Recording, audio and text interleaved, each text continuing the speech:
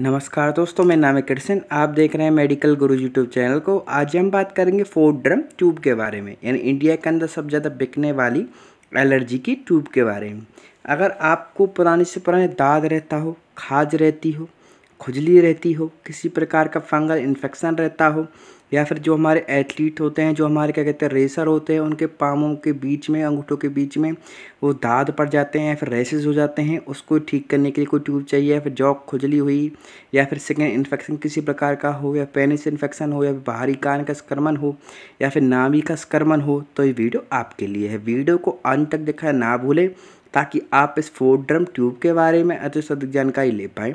और इसका अधिक लाभ उठा पाएँ। जो भी हमारे चैनल मेडिकल गुरुजी पर नए सब्सक्राइबर्स आए हैं, वो चैनल को सब्सक्राइब करना और बेल आइकन को दबाना ना भूलें, ताकि आगे आने वाली सभी मेडिकेशन वीडियो की जानकारी आपको सबसे पहले मिलती रहे।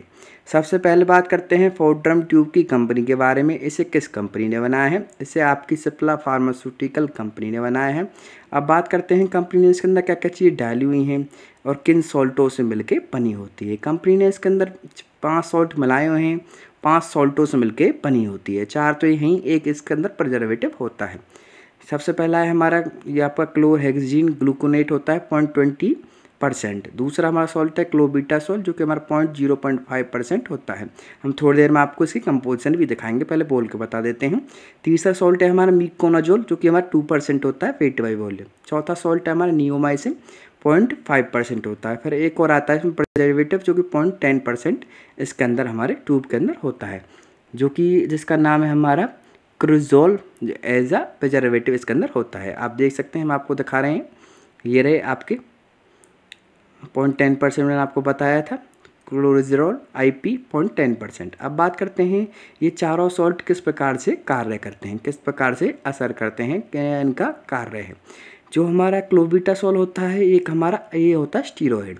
ये क्या काम करता है? जो कि हमारे स्किन पर किसी प्रकार की लालापन आ रहा है, किसी प्रकार की खुजली हो रही है, किसी प्रकार की सूजन आ रही है, या फिर क्या कहते हैं, जो चकते में खुजली सी चलती है, उसे रोकने का काम करता है। उन चीज़ों में आराम करने का काम करता है। अब बात करते हैं अगले हमारे सॉल्ट के बारे में। अगला सॉल्ट है हमारा नियोमाइसिन सल्फेट। नियोमाइसिन सल्फेट हमारा एक एंटीबायोटिक होता है, जो कि बैक्टीरिया की सेल वॉल को इनहेबिट करने से को रोकता है बैक्टीरिया इन्वेट कर देता है, जिससे कि जो, क्या कहते हैं, बैक्टीरिया जब हमारा होता है, वो बढ़ नहीं पाता है, आगे अपने लाल लाल चकते बना नहीं पाता है, हमारी बैक्टीरिया परप नहीं पाता है, और क्या कहते हैं, चकते जो रिंग बन जाती हैं, फिर खुजली चलती है वह लगातार पड़ते चले जाते हैं, दाने छोटे छोटे छोटे आप धूप में जाते हैं चेटी सी खाती हैं, कुछ लोग कहते हैं तो उसे बनने से रोकता है। अब बात करते हैं क्लोरहेक्सिन ग्लूकोनेट, जो कि हमारा एक एंटीसेप्टिक होता है, जो कि संक्रमण को रोकथाम करने के लिए इस्तेमाल किया जाता है। त्वचा को साफ़ करता है और क्या कहते हैं, जहाँ पे हमारा बैक्टीरिया होता है, फंगस होता है, उसे किल करने का काम करता है। क्लोबिटासोल के हमने आपको बता चुके हैं। उसके बाद हमारा मीकोनाजोल होता है। मीकोनाजोल आप देख सकते हैं, नाइट्रेट टू परसेंट जो होता है, ये हमारा एक एंटी फंगल होता है। एंटी फंगल वो एजेंट होते हैं, जो कि हमारे फंगस को किल करने का काम करते हैं। ये इसकी डेफिनेशन होती है।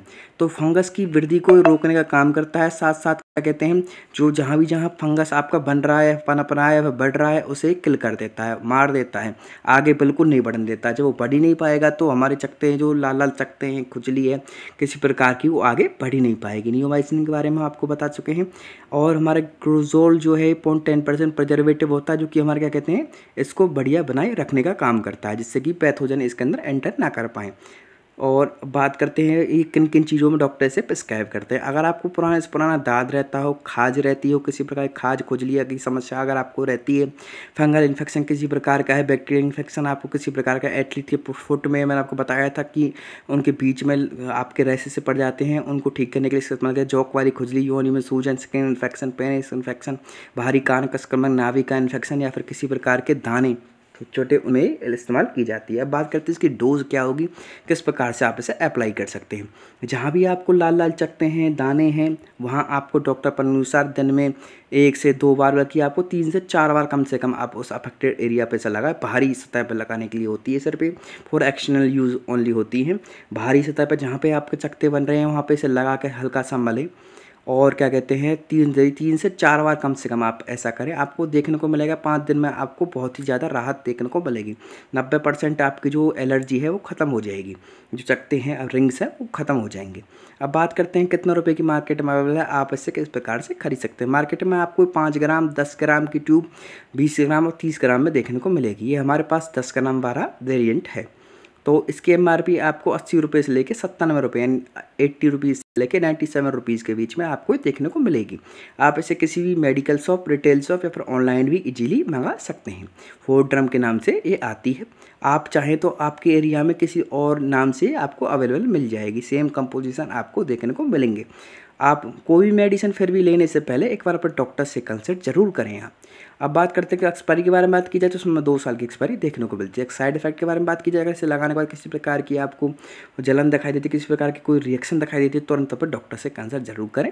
बिना डॉक्टर के परमिशन के कोई मेडिसिन खुद से ना लें। हमारा चैनल किसी प्रकार से सेल्फ मेडिकेशन यानी खुद से दवाई लेने की सलाह बिल्कुल नहीं देता है। सिर्फ़ आपकी नॉलेज पर्पज़ के लिए ये वीडियो बनाई जाती है। अगर आपको वीडियो अच्छी लगी हो तो लाइक कमेंट और शेयर करना ना भूलें साथ साथ हमें बताएँ वीडियो कौन सा पार्ट आपको अच्छा लगा। अगर आप कुछ और अधिक जानना चाहते हैं तो कमेंट बॉक्स में कमेंट करके ज़रूर बताएँ।